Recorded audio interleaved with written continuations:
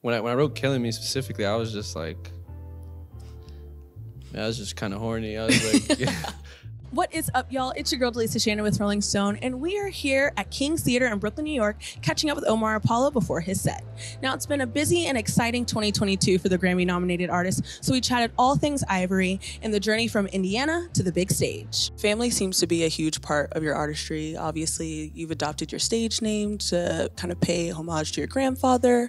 Uh, it's also tied into the kind of like traditionally inspired Mexican music that you make. Also, it's like I was lurking in the Discord, and your fans are just like, it's so great to see someone like me win, and it feels like you're their cousin. Oh, it feels like sweet. you know, like the That's best. so they keep calling you, they're like bestie this, bestie that, and I'm like, that's so cute. So they're just like, it obviously feels very much like a family. I want to know how it feels, obviously, when you're out there on the stage and you're performing these songs like Dos Uno Nueve, Mm-hmm. and you're hearing people sing it right back out to you, and it's like it feels like a family and it feels like home. How does it feel to like be up close and personal and get that kind of feedback right there? when I first started touring, it was all Mexican kids.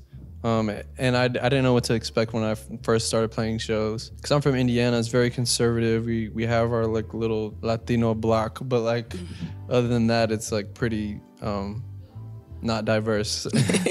and um, it was just great to know that like that was what was being like you know received, and like the message was, you know these these immigrant kids. Um, first generation and and able to to relate to the show in some way and relate to me in some way I think is incredible. I, like I had people come up to me and be like say they have the same number of siblings, their our parents are from the same place, like da da da like all this stuff. And I was like, wow, that's incredible. People, places, things, what kind of coalesced into Ivory? Well, I did all of like the creative direction in Mexico. I was working with Mexican Jihad, and I would go to Mexico, do all the shoots, I would do all the styling, all the photography um, was done in Mexico. So it was uh, I wanted to work with you know local talent and photographers, and we kind of came together with this idea of like doing like this 50s like movie star kind of vibe uh, look for the for the album, and that's where I got the idea for the trailer, and I it all started coming together. I wanted it to feel like one thing. I didn't want it to be like you know like super obvious, but like you know I wanted it to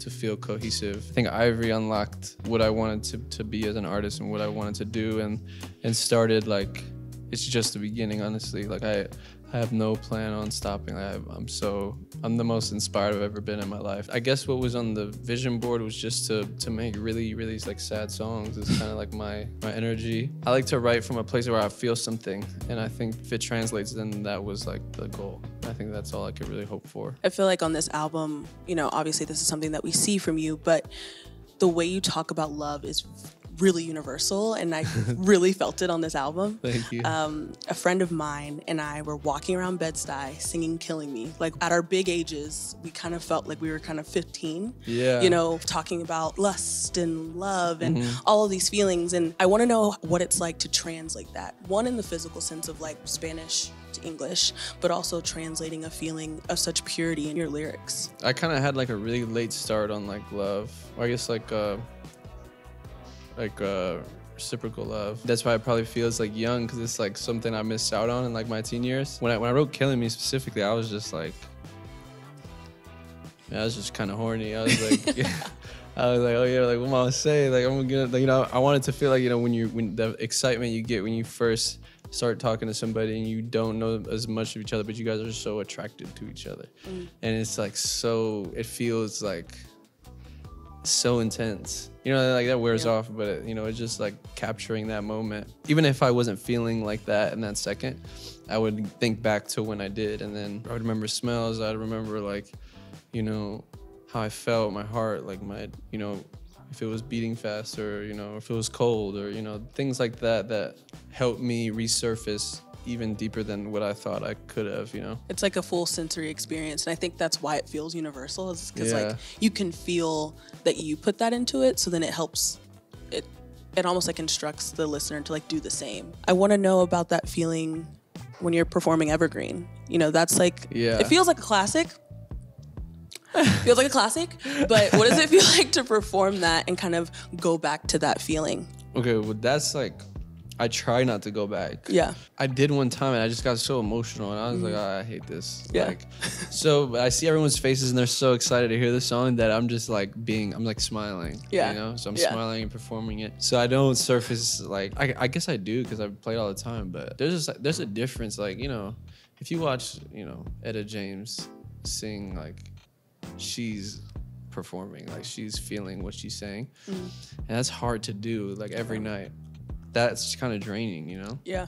I would love to be able to do that. I mean, I, I think I do in certain moments. But that course. song specifically, like, it's some real pain happening. Like, you know, Yeah. like it's not. I actually lived this shit. You know. And Yeah. it's like, damn, I gotta perform now. But no, it's it's a blessing for Yeah. sure. And it must feel good to like, even though that feeling was of such pain, it's like the part where everyone kind of goes off and you kind of get that feeling of A like, release. yeah, right. like I'm not alone in this feeling and you feel it too. And yeah, yeah. we both got our hearts broken. We all got our hearts broken, and Right. like we can sing this song and it feels good afterwards. One thing I really, really loved about this album release was Tyler the Creator, like telling you that your bridge on Tamagotchi was crazy. like he was like, hold up. And I know it's like it's hard because you seem to be a present person, but how are you celebrating yourself? Because there's a lot to celebrate. there's a lot to celebrate. Well, I feel like the best way to, well, first of all, yeah, that was a great like moment. Like when he when he said me that, because I was kind of feeling down, because it was like he was he he talks a lot about like uh, promoting yourself and like you know investing in yourself and like there was just I was just at a point in my life where I felt like, you know, this is the work, that's enough. Like I tried my hardest, you know, like. But no, you gotta do more than that. You gotta be a little, you know, you gotta be excited for it. You gotta, you know, want to do it, and at least I want to be. You know, I think I was just dealing with some other stuff. But when he said that, it really changed how I felt. I'm like grateful for that. I think the best way to celebrate yourself is just to honor the moments that you get being on tour and being, you know, people coming to the shows and singing all the lyrics, and me being able to travel, me being able to, you know, cop whatever I want. Like, you know, it's just like, dang, I couldn't do that before. And it's like, you know, and also just making music. I just want to make more of it. So, along with all the things that you're celebrating right now, you were nominated a Grammy for Best New Artist. Yes, crazy. Which is crazy and very well deserved. Thank you. Where were you when you found out? Were you just like, I'm a young Mexican dude Yeah. from Indiana? That and- hit. Yeah. Like that really hit. Like I was like, whoa, like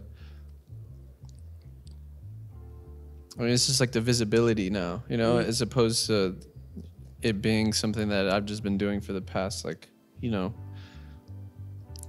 five years now. I was already, you know, selling out tours and stuff, but it's very, very different. Like when you get recognized by, you know, something like the Grammys. It's just it's just like, oh wow. Like I'm like they can't say nothing now back home. Like they can't say shit. And uh, yeah, yeah, and you know, is I call my mom. I feel like she barely knows knows what it was. yeah. My dad knew. He was lit. He was turned up. He's like, oh, I can't believe it. But no, yeah, it's insane, incredible. In an interview, you were talking about kind of leaving Indiana and mm, making that decision because you knew that there were more things you needed to experience, more things you needed to do.